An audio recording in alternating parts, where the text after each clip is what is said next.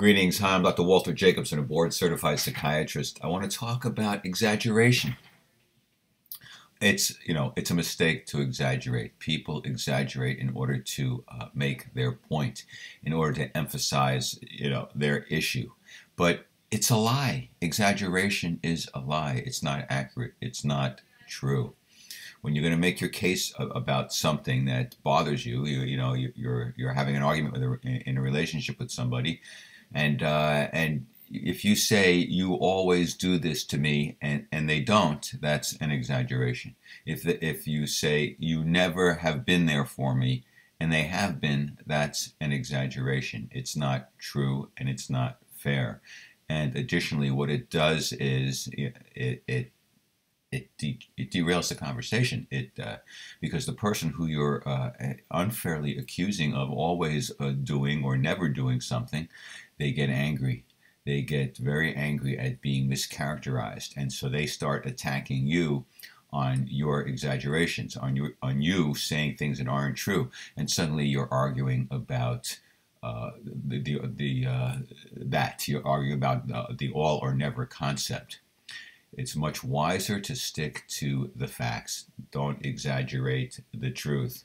So, if the fact is that most of the time, just about all the time, not all the time, but just about all the time, you do this, or just about all the time, you never are there for me, almost never. Uh, occasionally you have been, most of the time you're not. That's my complaint.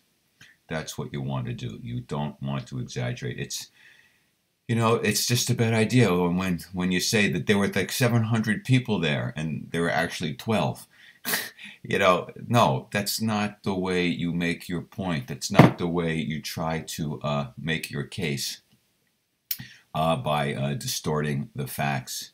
You need to stick to the facts, and and, and that and that includes not again not mischaracterizing uh, a, a, situation by uh, by also uh, you know being selective about what uh, your recollection of what somebody said. So if uh, if somebody said something to you and you are you got mad and uh, and you're uh, defending your position and you actually don't quote the person accurately, you have distorted what the person uh, said and you're attacking that person based upon what you think they said or what you assume they meant this is again a, a form of, uh, of distortion. Uh, I wouldn't necessarily call it a form of exaggeration, but uh, but yeah, I guess maybe you can. But I think you get the point.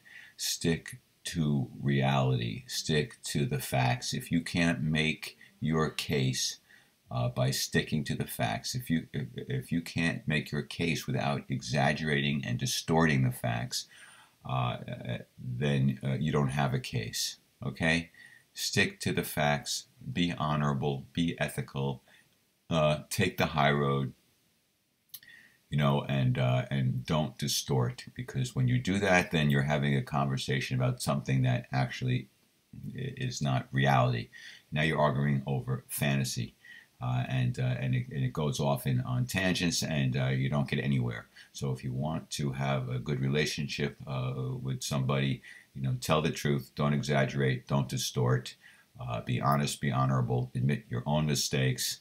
Uh, at the same time that you may be pointing out the mistakes of others. Okay, that's it for now.